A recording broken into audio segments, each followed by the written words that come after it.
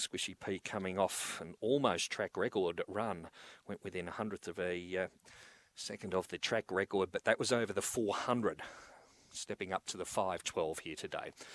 Perseverance drawn one. They're set for a start, ready, race six, set, and racing this time, a fairly even dispatch. Crown Simba and hunting up Squishy P. Squishy P will lead around the first turn. Crown Simba second. Perseverance up to third, followed by, oh, did get a check down the back. Crown Simba's taken over. Getting through now, Rocket Fernando out wide of St. Matty. They're followed by Perseverance and Squishy P is uh, back at the rear off the back and Rocket Fernando in front. St. Matty second, followed by Perseverance running on. Then came Crown Simba, but around the home turn and Rocket Fernando in front, trying hard St. Matty, but Rocket Fernando Scores St. Matty second, Perseverance third, followed by Crown Simba and Squishy P after getting tangled up on the first turn as well, finished in last placing.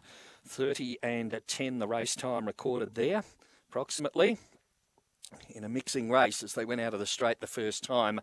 Uh, Perseverance was one that got checked, and Squishy P came off worst out of that and uh, dropped right back in the field. But six, Rocket Fernando has scored here from eight St Matty, and third has gone to uh, number one Perseverance in a changing race. Uh, six Rocket Fernando for trainer Dave Peckham. Rocket Fernando is a